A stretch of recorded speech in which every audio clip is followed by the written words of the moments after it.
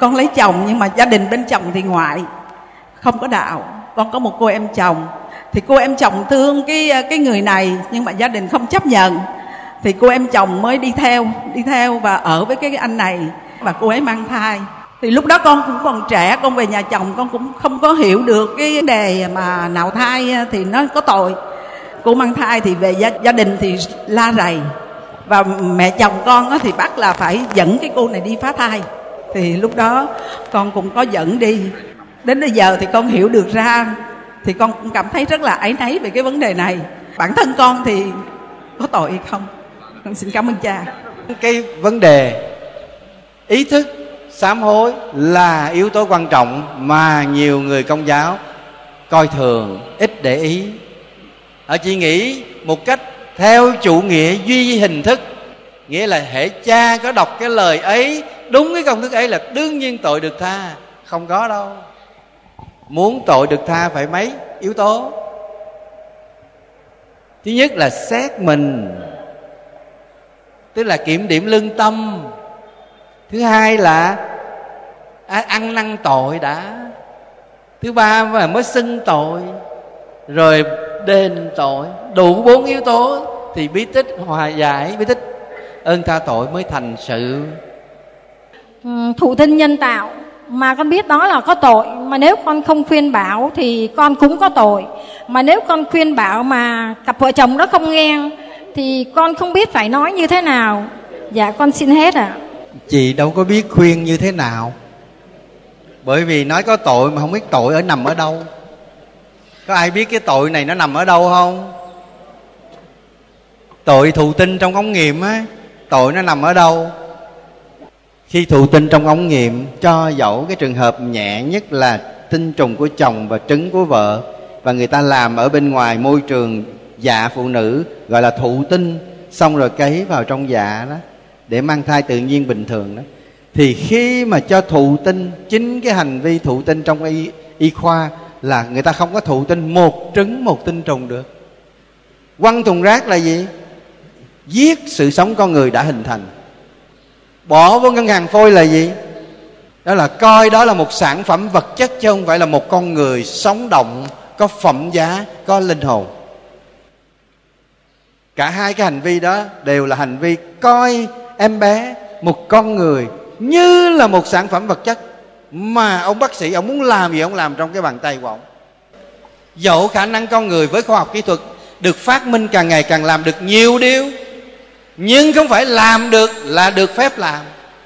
Hội thánh là mẹ hội thánh là thầy và quyền của hội thánh là quyền mà Chúa Giêsu trao cho các tông đồ. Các tông đồ tiếp nối truyền lại cho các giám mục. Các giám mục tiếp tục truyền lại. Nhờ những cộng sự của mình là các linh mục là các thầy dạy đức tin. Hãy tin các đấng. Giáo hội dạy chúng ta xưng tội rước lễ cầu nguyện theo ý đức giáo hoàng thì được hưởng một ơn đại xá. Còn lấy thí dụ con ăn trộm ăn cắp của người ta được hai ba chỉ vàng. Con ý thức được đó là tội. Con lừa đảo tham vô chiếm đoạt tài sản được mấy chục triệu. Con ý thức được đó là tội. Con đi xưng tội. Rồi theo năm tháng con quên hay nói thẳng ra đó là không trả. À, không bồi hoàn dưới bất cứ hình thức nào.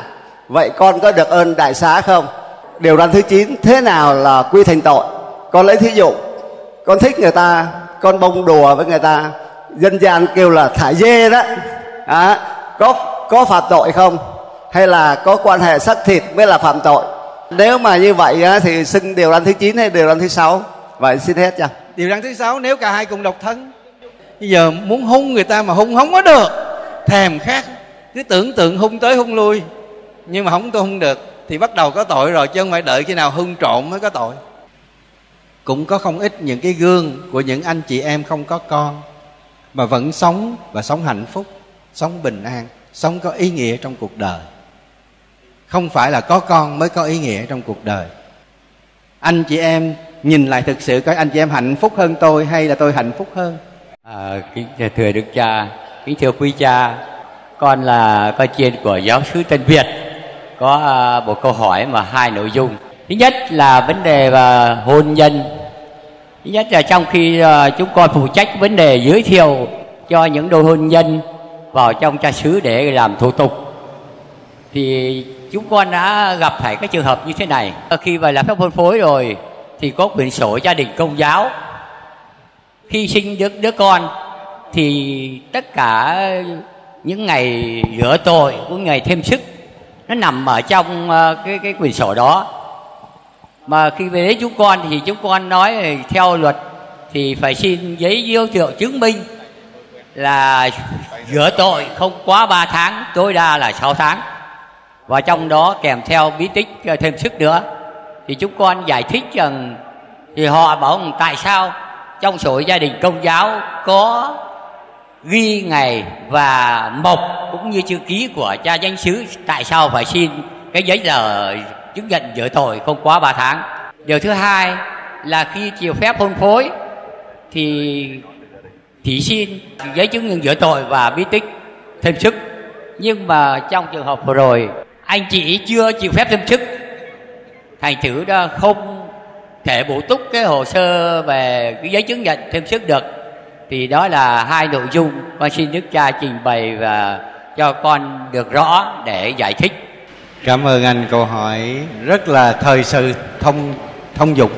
Khi kết hôn, muốn lập bí tích hôn phối, giữa hai người Kitô hữu công giáo đã được rửa tội, thì phải có cái gì chứng nhận mình là người công giáo? Đó là cần thiết cái giấy chứng nhận rửa tội. Nhưng mà cha có trách nhiệm tiến hành điều tra hôn phối đó, không chỉ cần biết cái người này đã được rửa tội hay chưa, mà còn cần biết người này có ngăn trở gì về hôn phối hay chưa. Cho nên cái giấy chứng chỉ rửa tội, xác nhận người này đã được rửa tội, không quá ba tháng là vì ai đã kết hôn bí tích hoặc là đã khấn trọng thể trong một dòng tu hay là có cái gì đó thì đã được báo về cho cha xứ nơi người ấy rửa tội để ghi vào bên cạnh cái chỗ người ấy được chứng nhận đã rửa tội rằng người này đã kết hôn rằng người này đã chịu chức à, linh mục chức thánh phó tế hay là người này đã khấn trọng trong dòng tu gì đó. Cho nên trong cái sổ rửa tội không chỉ biết người đó đã được rửa tội, hay chưa, mà còn biết người đó đã kết hôn rồi, đã khấn trọng thể rồi, đã có chức thánh rồi, hay chưa? Vì thế, không quá ba tháng là vì để cho cái thủ tục kia được hoàn tất nếu có báo cho cha sở đang điều tra hôn phối biết rằng người này có ngăn trở hay không có ngăn trở cho cái bi tích hôn phối sắp cử hành, sắp tới. Đó là lý do tại sao phải có giấy chứng chỉ hôn phối được cho sở ký không quá 3 tháng. Đa số nhiều người vẫn thắc mắc tại sao sổ rửa tội đã có chứng nhận, có mộc có ký rồi mà vẫn không không được. Đó là lý do thứ hai. Các anh chị hiểu chưa? Đó điều đó không phải giáo hội khó, mà giáo hội muốn bảo đảm an toàn cho con dân của mình. Bởi vì có nhiều người mong muốn kết hôn vội vàng không điều tra kỹ lưỡng, nhất là với những người mà không có gốc tích rửa tội, tức là những người đạo mới hay tân tòng hay là chuẩn chẳng hạn.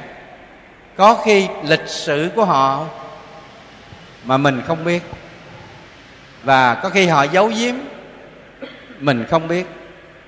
Cho nên, để bảo đảm cho con dân của mình giáo hội kỹ lưỡng là vì con dân mình. Đừng kết án giáo hội nhé. Giáo hội là mẹ, lúc nào cũng thương con. Chứ không phải rắc rối nhiều để có lợi gì cho ông cha hay cho giám mục cả. Đó là câu hỏi thứ nhất.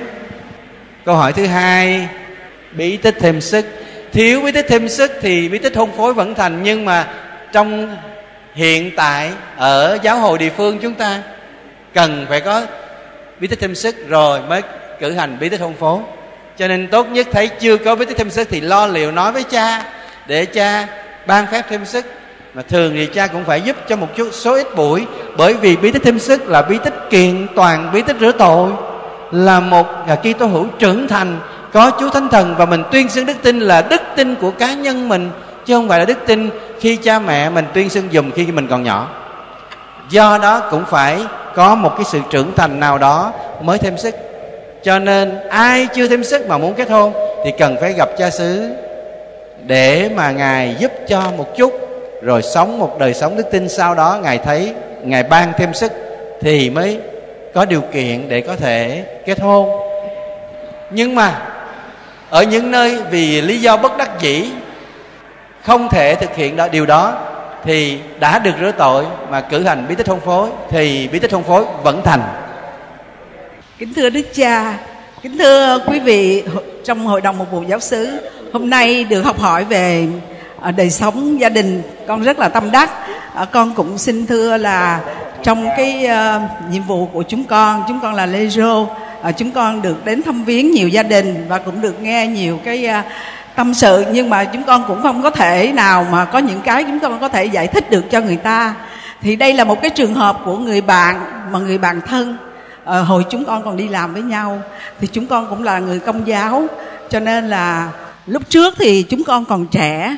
Cho nên về cái đức tin và cái đời sống giáo lý của chúng con rất là yếu không hiểu cho nên chúng con có những cái sai phạm. À, chị này lập gia đình lúc còn trẻ. Thì à, sau khi mà lập gia đình sau giải phóng thì à, chị sanh liền một lúc hai đứa con. Thì cái cuộc sống lúc đó rất là khó khăn. Sanh con ra không có sữa cho con bú nữa. Mà ông ngoại bà ngoại ông nội bà nội gia, gia đình hai bên thì rất là nghèo. Cho nên là không có thể nào mà cưu mang được chị cố gắng nuôi nuôi con trong cái hoàn cảnh rất là khó khăn. Thì à, không có kế hoạch hóa gia đình gì hết. Xong sanh hai đứa con xong thì chị lại mang thai. Thì mang thai thì chị nghĩ lúc đó là khó khăn quá bây giờ nuôi không nổi nữa mà bây giờ lại phải mang thai nữa. Thì chị không nghĩ được cách nào hết thì bằng cách là đi phá thai. Phá thai về thì vài tháng sau lại mang thai. Lại mang thai thì lại đi phá thai và lần này thì được bác sĩ tư vấn là phải kế hoạch hóa gia đình bằng cách là đặt vòng. Chứ nếu để như vậy hoài thì không thể được. Thì chị lại đi đặt vòng. Và đặt vòng xong thì à, sau này chị lấy vòng ra thì chị không kế hoạch gì nữa hết, thì chị lại cũng không có sanh được. Thì à, có một thời gian thì sau này thì chị hiểu được ra được cái vấn đề đó là có tội. Thì à, chị đến gặp cha và chị cũng trình bày như vậy và cha đã ban phép giải tội cho chị về cái cái tội mà phá thai. Thì à, chị cũng cứ thấy thấy hoài chị nói như vậy thì không biết là có được hay không có còn mình có còn sai phạm gì nữa hay không. Thì chỉ hỏi con thì con cũng không biết là trả lời như thế nào. Đó là vấn đề của chị đó. Còn vấn đề của con thì à, con lấy chồng nhưng mà gia đình bên chồng thì ngoại không có đạo. Con có một cô em chồng thì cô em chồng thương cái cái người này nhưng mà gia đình không chấp nhận. Thì cô em chồng mới đi theo đi theo và ở với cái anh này và cô ấy mang thai. Thì lúc đó con cũng còn trẻ con về nhà chồng con cũng không có hiểu được cái vấn đề mà nạo thai thì nó có tội. Cô mang thai thì về gia, gia đình thì la rầy. Và mẹ chồng con thì bắt là phải dẫn cái cô này đi phá thai. Thì lúc đó con cũng có dẫn đi. Đến bây giờ thì con hiểu được ra thì con cũng cảm thấy rất là áy náy về cái vấn đề này. Thì xin sư cha là vấn đề này thì con, bản thân con thì có tội hay không? Con xin cảm ơn cha. Trả lời câu hỏi thứ hai trước để cho chị yên tâm đã rồi mới lắng nghe được câu hỏi thứ nhất. Chị biết có tội. Lúc đó chứ không phải bây giờ mới biết. Phải không? Lúc đó cũng cảm thấy khó xử mà. Nghe lời mẹ chồng dẫn của em dâu, em chồng đi thì cũng vì nể mẹ vâng lời mẹ mà làm, nhưng mà trong lòng khó nghĩ. Nghĩa là trong lòng cũng biết có vấn đề chứ, lúc đó đó. Nhưng mà không có được ý thức quyết liệt giống như bây giờ, mấy mươi năm sau. Thì lúc đó cũng có tội mà bây giờ nếu mà chưa xưng tội thì tội còn đó. Nhưng mà chắc chắn là chị đã xưng tội rồi. Chưa xưng tội này hả? Hôm nay xưng tội công khai như thế này thì lát chỉ cần cha ban phép tha tội là xong đấy. Can đảm xưng tội công khai như thế này còn hơn đi xưng tội ở trong tòa giấy tội. Còn tội gì nữa xưng luôn, cha ban phép luôn. Chắc chắn cái vấn đề ý thức, sám hối là yếu tố quan trọng mà nhiều người công giáo coi thường, ít để ý họ chỉ nghĩ một cách theo chủ nghĩa duy hình thức, nghĩa là hệ cha có đọc cái lời ấy, đúng cái công thức ấy là đương nhiên tội được tha. Không có đâu. Muốn tội được tha phải mấy yếu tố? Thứ nhất là xét mình, tức là kiểm điểm lương tâm. Thứ hai là à, ăn năn tội đã. Thứ ba là mới xưng tội. Rồi đền tội, đủ bốn yếu tố thì bí tích hòa giải bí tích. Ơn tha tội mới thành sự. Mà người ta thường quên cái yếu tố ăn năn tội. Người ta tưởng là đọc kinh ăn tội, lạy chúa tôi, chúa là đức tròn tốt, trọn lành vô cùng, là coi như xong ăn năn tội. Cái đó vẫn là chủ nghĩa, hình thức lòng chưa ăn năn thật sự. Cái điều quan trọng là ta phải ăn năn thật sự. Mà ăn năn thật sự thì phải biết rằng đó là tội nhưng mà có những lúc khi đức tin còn non yếu, người ta không có nghĩ đó là tội, giống như những người dự tòng hay tân tòng đó, hay là những người chưa có đạo. Họ đi phá thai, họ không nghĩ đó là tội lỗi, là giết người. Về sau này họ mới biết, họ mới ý thức. Cho nên, có khi cả một quá trình, chứ không phải chỉ lúc xảy ra hành động đó. Cả một quá trình, nghĩa là cả một cuộc đời, một hành động nó đi theo ta suốt đời cho nên bây giờ vẫn còn ấy nấy là vì vậy. Lương tâm của chúng ta, dẫu đã xưng tội rồi và đã được ban phép tha tội rồi, nhưng mà ít hay nhiều các chị em trong trường hợp ấy vẫn còn ấy nấy lương tâm và có nhiều người còn khủng hoảng. Thì cha khuyên thế này, thứ nhất, khi đã xưng tội ấy rồi và cha đã tha tội và tha vạ rồi, hãy tin tưởng vào lòng thương xót của chúa và tin chắc chắn chúa đã tha tội. Tội của con dầu có đỏ như son, có thẩm như vải điều, thì ta cũng làm cho nó trắng sạch như bông, như tuyết. Đừng quên lời chúa nói như vậy.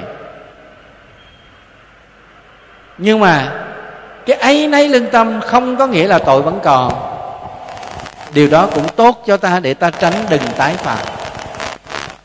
Nhưng mà đừng có lo lắng lo sợ tới cái mức mất ăn mất ngủ rồi bị à, trầm cảm.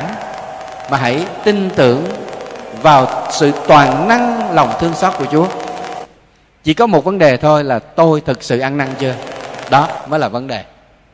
Phải coi lại à. nhưng mà có nhiều người ăn năn quá. Thấy được bơn ơn tha tội đã làm việc đền tội rồi mà vẫn còn cứ lo lắng là không biết đã được tha chưa?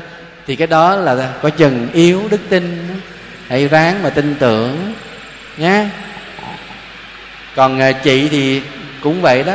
Hai câu chuyện, nhưng mà một trường hợp, chúng ta phải, thứ nhất, làm sao để hiểu biết rằng cái hành động đó là có tội và nó nghiêm trọng tới mức nào. Hay là hành động đó nó bớt nghiêm trọng do cái hoàn cảnh nào đó nó xảy ra. Chẳng hạn như bị thúc ép phải đi phá thai hay là bị thúc ép để mà kết hôn, vân vân. Thì thêm những cái yếu tố ngoại cảnh, những yếu tố hoàn cảnh có thể cái tính luân lý nó giảm cái mức nghiêm trọng, nhưng không phải là không còn là tội. Hoàn cảnh nó chỉ làm gia giảm kia mức nghiêm trọng của luân lý thôi, chứ còn tội trước hay sau nó vẫn là tội nha bởi vì ta còn tự do mà dầu ta tự do rất là nhỏ, yếu đuối, mong manh. Nhưng mà cuối cùng cái quyết định là của tôi, chứ không phải của mẹ tôi, chồng, mẹ chồng tôi hay của chồng tôi hay của ai. Quyết định cuối cùng là của tôi. Nhưng mà tôi quyết định tôi làm một hành động, thì tôi mang lấy cái trách nhiệm của cái hành động đó. Có thể tôi làm cái này hợp ý chúa mà ngược ý chồng tôi, hay ngược ý mẹ chồng tôi. Mà ngược ý thì có nguy cơ là rạn nứt tình cảm bất hòa gia đình và tôi phải mang lấy cái hậu quả là gia đình không được hạnh phúc cho lắm. Đó là những cái điều mà Chúa Giêsu nói ta đến để không phải đem bình an mà đem gây chia rẽ là vậy. Vì để chấp nhận chân lý sự thật đem lại sự sống đời đời đôi khi ta phải trả những cái giá ở trong cái cuộc đời này. Nhưng mà cái cách ta nói quan trọng. Lập trường kiên vững nhưng mà đừng có mà nói một cách hùng hổ hay tấn công hay làm tổn thương tự ái người khác. Trái lại vẫn nhẹ nhàng, êm đềm, nhưng mà lập trường trước sau không thay đổi. Đó là yêu thương mà trong chân lý. Con có một câu hỏi mà người ta hỏi con. Đó là hai vợ chồng ở với nhau thì theo luật tự nhiên, có lẽ là như ông Adam bày Eva phải có con. Thế nhưng hai vợ chồng ở với nhau một năm, hai năm năm năm, mười năm, không có con. Và họ đã tách bầy, thì người chồng đi lấy vợ khác, người vợ đi lấy chồng khác, họ đẻ con sồn sồn năm một. Đấy là câu thứ nhất. Thì ý họ họ là như vậy, thì như thế nào đối với họ khi hai người còn đang sống? Câu thứ hai đó là, người ta có gia đình có vợ, có con đang đều hề vui vẻ. Vô tình anh hoặc chị ra ngoài đường gặp một người công giáo. Và người ta đưa lòng yêu thương người công giáo, người ta bỏ vợ, bỏ con theo người công giáo để lập gia đình. Người công giáo tự hào rằng mình đã cứu được một linh hồn. Thế nhưng cha vũ ngài nói với chúng con thế này này, kéo cả nhà xuống hỏa ngục chứ nào cứu được một linh hồn con. Con xin đức cha chia sẻ đôi điều và con cũng mong mọi người đều lắng nghe. Câu thứ hai là không phải là câu hỏi mà là muốn gây ý thức cho cộng đoàn. À, vậy thì trả lời câu hỏi thứ nhất trước. Mà câu hỏi thứ nhất cũng chưa đặt thành câu hỏi nữa. Chỉ nêu một cái sự kiện như vậy mà chưa có đặt thành câu hỏi. Hai người lấy nhau 5 năm 7 năm không có con. Ly dị người lấy chồng khác người lấy vợ khác thì lại đẻ sồn sồn. Câu hỏi là gì? Chưa nghe chưa nghe câu hỏi. Có phải là anh muốn hỏi rằng người đó à, có được à, ly hôn nghĩa là tuyên bố hôn nhân của họ bất thành hay không? Chứ gì? Có phải câu hỏi như vậy không? Dạ con xin lỗi thầy như thế này này. Là ý của người ta nói rằng à, không phải là ly dị. Người ta tự tách có nghĩa là người ta là người công giáo hoàn toàn người ta tự tách ra và người ta lại tiếp tục lấy người công giáo. Như vậy thì người ta cởi rối cho người ta như thế nào? Gỡ rối cho người ta. Như thế nào rối này khó gỡ lắm. Có con rồi nó càng rối hơn. Mà không biết gỡ thế nào. Cái người gỡ mà không có bản lãnh là bị quấn vào rối luôn. Nhưng mà cả hội thánh đồng hành thì gỡ rối thì không sao đừng có mà đi gỡ một mình, mà nhất là gỡ ở nơi riêng tư á, là sẽ bị quấn vào rối luôn.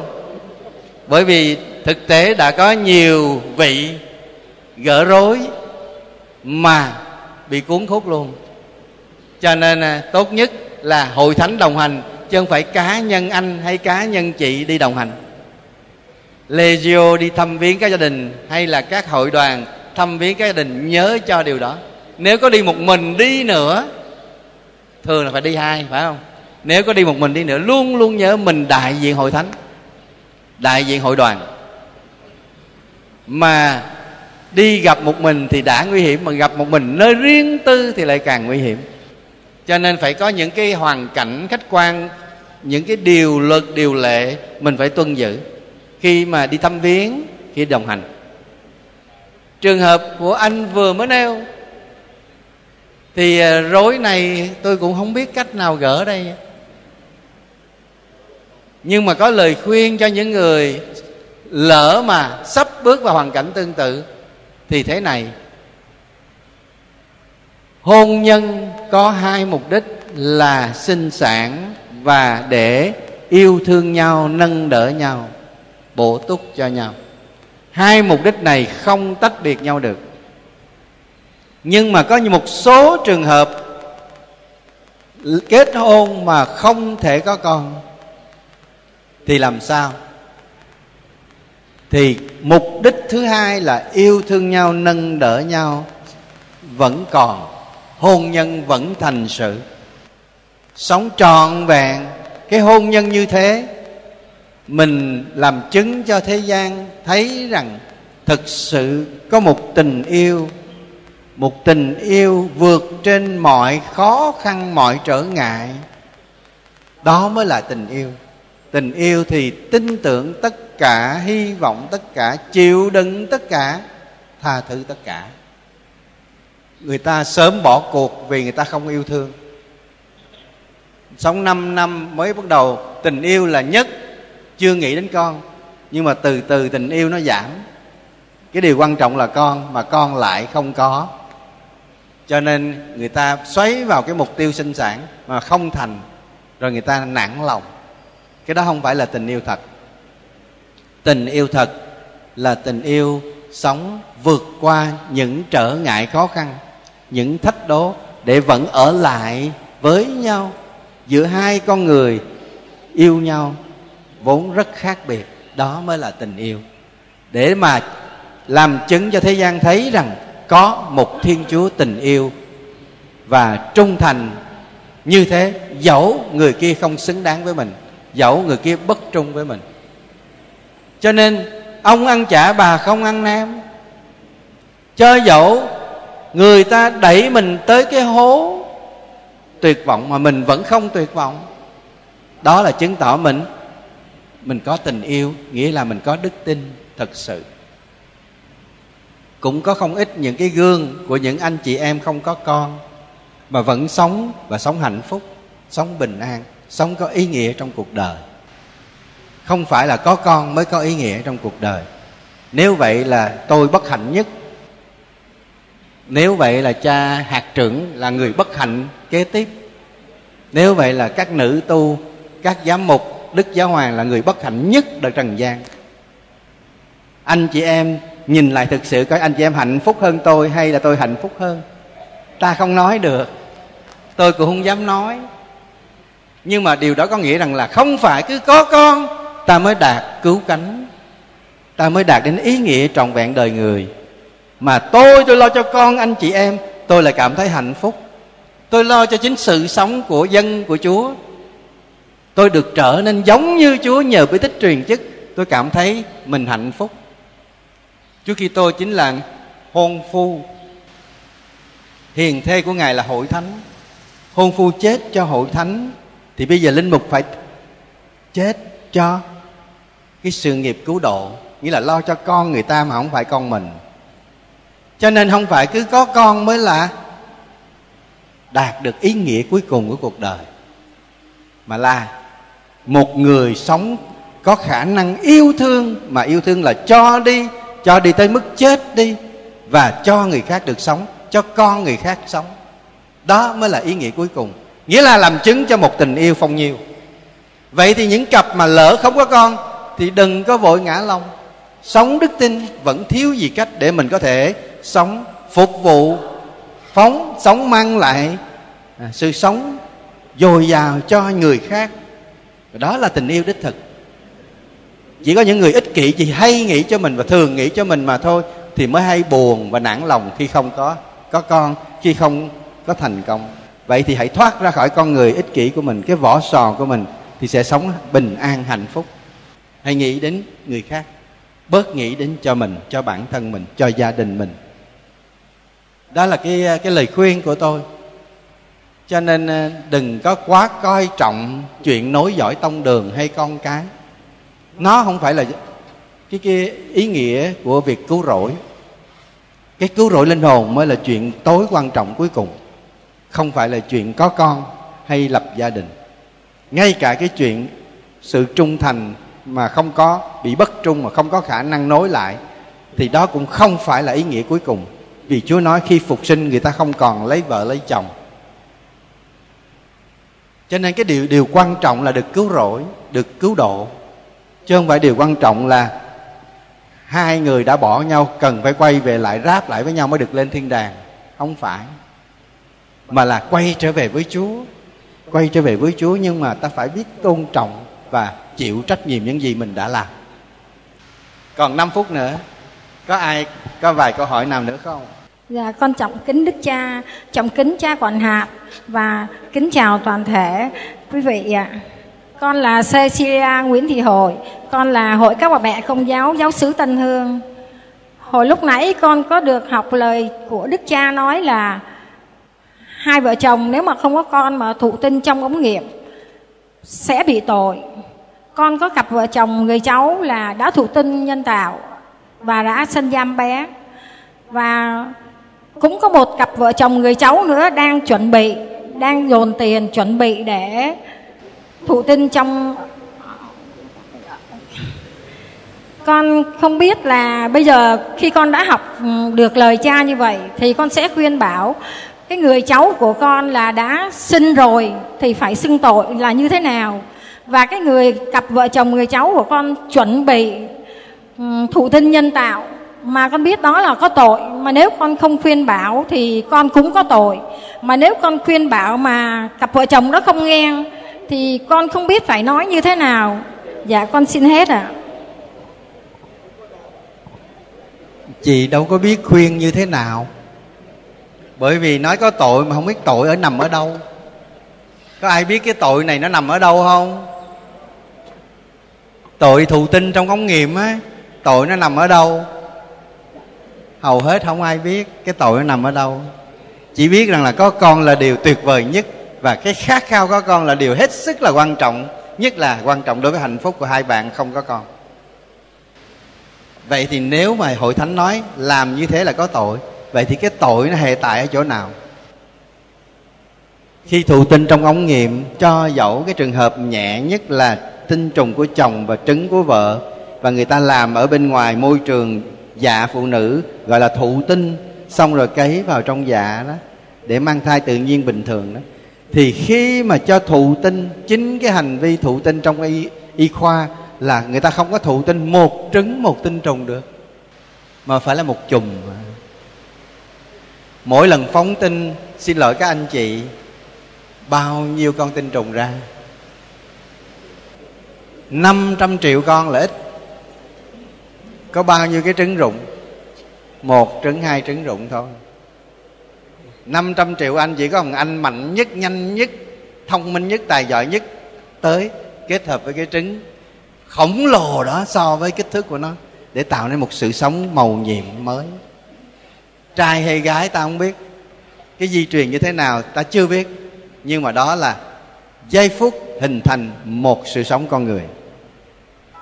Thiên chúa sáng tạo linh hồn con người cha mẹ cùng lắm, cộng tác vào, tạo nên hình hài con người thôi.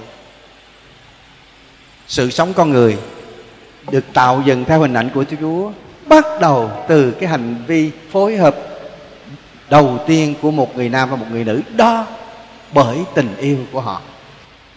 Bởi vì cái chuyện đó là kết quả của hành vi yêu thương đạt tới mức một xương một thịt của một người đàn ông với một người phụ nữ nguyện yêu nhau và yêu thì yêu đến bến bờ.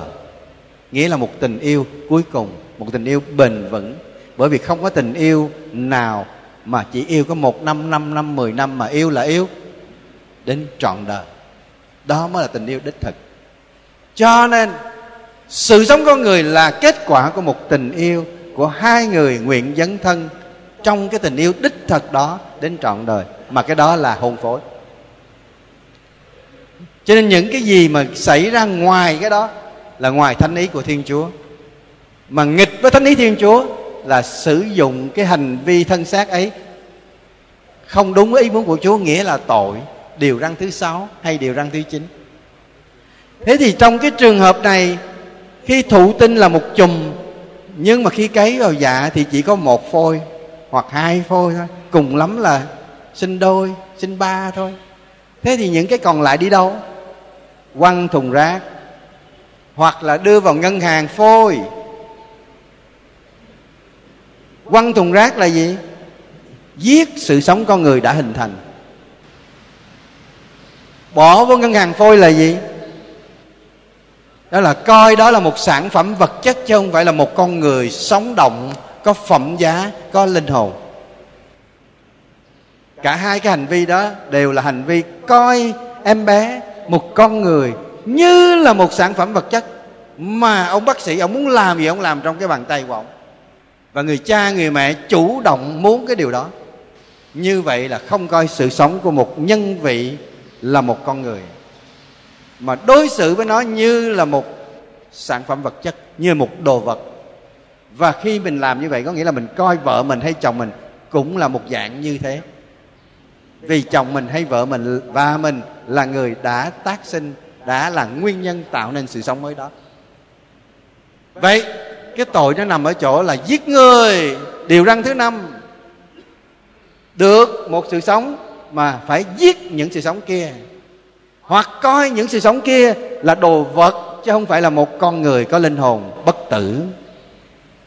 Nên cái tội trọng nằm ở đây là giết người, điều răn thứ năm. Khi ta dùng thụ tinh trong ống nghiệm. Mà cho dẫu sau này y khoa có đạt tới cái mức chỉ một tinh trùng và một trứng được trích ra để thụ, thụ thai để không có cái chuyện quăng thùng rác hay giết cái phôi còn lại thì khi ấy vẫn là manipulate nghĩa là chúng ta vận dụng sự sống con người một cách tùy tiện như ta sản xuất một sản phẩm một đồ vật một nhân vị đáng tôn trọng, dẫu là một em bé, nó vẫn là một con người có linh hồn. Giống hình ảnh của thiên chúa, ta phải kính trọng. Điều này là phải học là các thầy, các sư phật giáo. Trước mỗi một con người, nam mô a di đà phật, đó là một sự kính trọng với một con người, giàu đó người đó, như thế nào? Chúng ta nhìn vào bất cứ một con người giàu em bé bị đau, giàu một em bé bị dị tật, nằm liệt giường liệt chiếu dòng một cái, giàu là một cái người bị nhiễm HIVS giai đoạn cuối chỉ còn da bọc xương, hay dẫu người đó xấu hay đẹp, tất cả đều được tạo dựng theo hình ảnh của Thiên Chúa. Ta phải kính trọng. Dầu là em bé chưa thành hình người, chưa chui ra khỏi mẹ, hay là một người già gần chết. Ta cũng không được quyền kết liễu sự sống ấy, tùy tiện theo cái ý chí tự do hữu hạn của ta. Vì quyền sự sống chỉ thuộc một mình thiên chúa. Đó là điều răn thứ năm. Các chị hiểu chưa?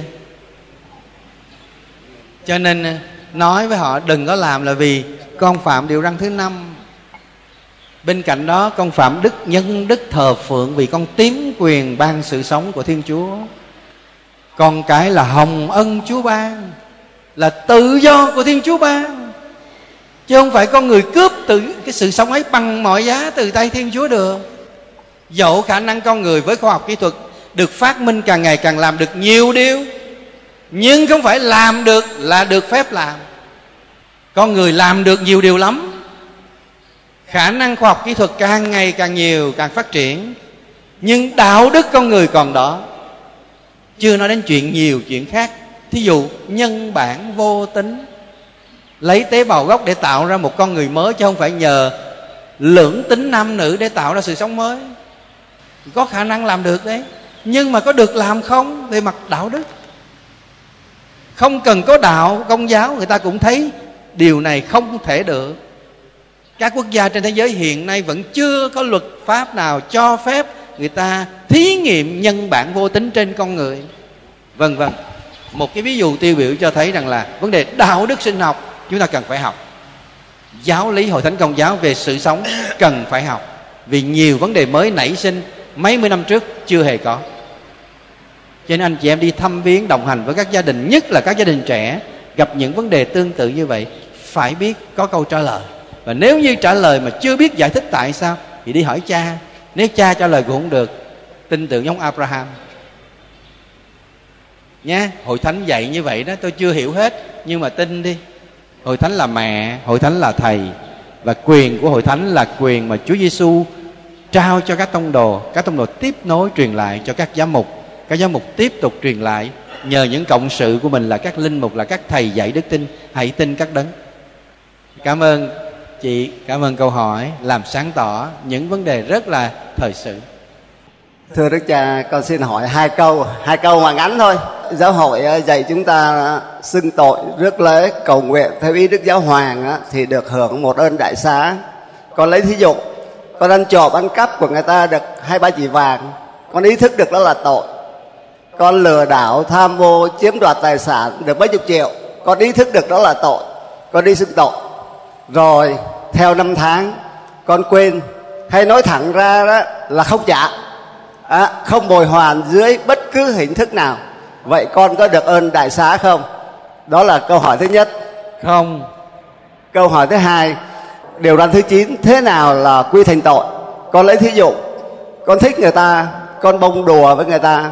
Dân gian kêu là thả dê đó.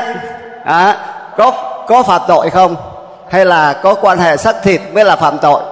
Hiểu rồi. Có. Lấy thân đền đáp vậy ở đây nó có hai trường hợp. Một là người ta có gia đình thì tội rõ ràng. Còn trường hợp thứ hai người Đã- ta không có gia đình mà mình có gia đình cũng tội ngoại tình luôn.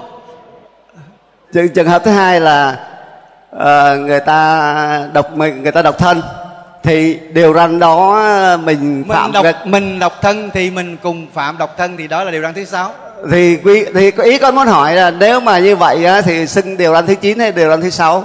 Vậy xin hết cho điều răn thứ sáu nếu cả hai cùng độc thân. Còn nếu cả hai có ràng buộc nếu là ràng buộc lời khấn thì điều răn thứ chín. Nếu là ràng, ràng buộc lời hôn phối cũng là điều răn thứ chín. Câu hỏi thứ hai không có quá khó.